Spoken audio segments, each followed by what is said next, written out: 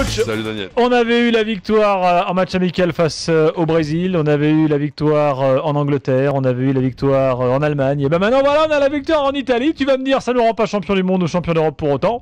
Mais enfin, ça fait du bien quand même, non? Tu vois, tu n'as pas besoin de, de moi.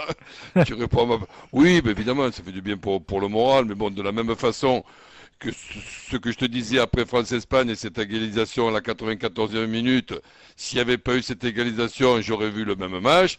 Et si ce soir, euh, l'Italie, qui, aurait pu marquer à certaines occasions, fait match nul ou gagne ce match 2 à 1, je ne changeais pas l'analyse du match pour, pour autant, tu veux. Tu me rejoins, Roland, quand je disais tout à l'heure que le nombre de fois où après des gros matchs avec des champs sur le banc, on n'a pas su trop quoi dire après.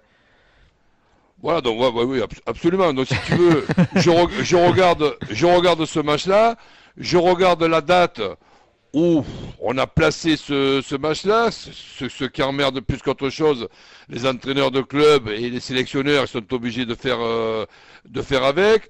On est mis euh, novembre, Italie-France euh, à Parme. Bah oui, pourquoi pas.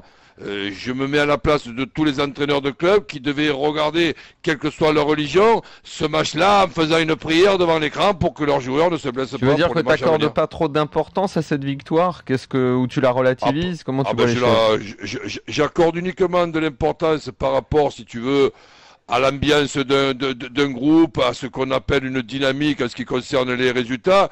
Mais le contenu de ce match, pour moi, je vois de bonnes choses, de moyennes et voire de très très moyennes pour ne pas dire euh, mauvaises.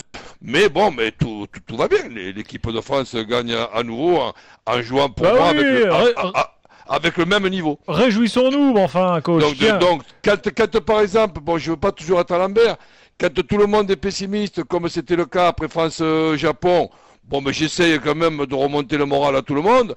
Là, je dis sincèrement, je n'arrive même pas à taquiner mes amis euh, italiens compte, compte, tenu que ce match-là, pour moi, a une, a, une, valeur relative, sauf pour le moral, où, il est, où c'est très bon quand même de, de ne pas perdre les matchs déjà. Et, et, voilà. Mais bon, le rendez-vous que, que je donne moi, et tu m'entendras le dire euh, toutes les, toutes les semaines jusqu'à ce jour-là, c'est déjà nos deux déplacements en Géorgie et en Biélorussie qui, ont déjà été faits par l'Espagne, et le France-Espagne, où on passe, nous en France, d'une extrémité à l'autre, et le France-Espagne en France, quand nous ferons l'exploit même de nous mettre comme favoris.